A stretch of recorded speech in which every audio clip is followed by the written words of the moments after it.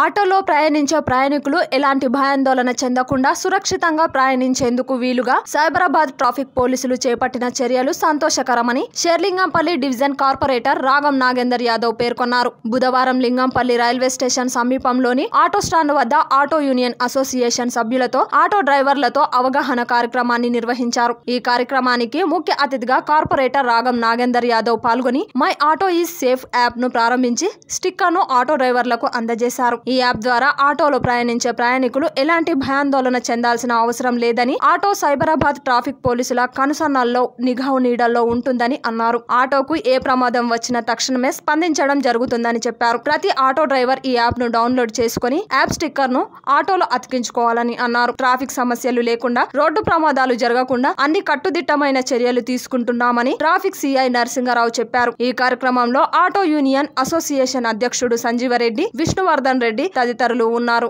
ఈరోజు Cyberabad traffic police వాళ్ళు ఏర్పాటు చేసినటువంటి అవగాహన సదస్సుకు విచ్చేసిన ఇన్స్పెక్టర్ అన్న నరసింహరావు గారు స్టేషన్ మాస్టర్ గారు మేనేజర్ గారు బుచ్చిరెడ్డి గారు సభా అధ్యక్షుడు సోదరుడు సంజీవ్ రెడ్డి అన్న గారు వైద్ గారు ఎస్ఐ సుబ్బారావు గారు మన ఆర్పిఎఫ్ ఎస్ఐ సుబ్బారావు గారు మరి వేదికను అలంకరించినటువంటి పెద్దలు ముఖ్యంగా ఇక్కడికి విచ్చేసినటువంటి నా సోదరులు ఆటో డ్రైవర్స్ అసోసియేషన్ సభ్యులు ప్రతి ఒక్కరికి కూడా నా యొక్క నమస్సుమాంజలు తెలియజేస్తూ ఉన్నాను.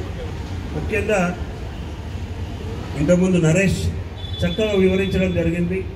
మనం ఏ పద్ధతిలో ఉండాలి ఏ రకంగా మనం నడుచుకోవాలి మన నడవడి ఏ రకంగా ఉండాలి మనం తీసుకున్నటువంటి డ్రెస్ కానివ్వండి మన యొక్క హావభావాలను బట్టి కూడా వాళ్ళు ప్రతిదీ కూడా గమనిస్తారు.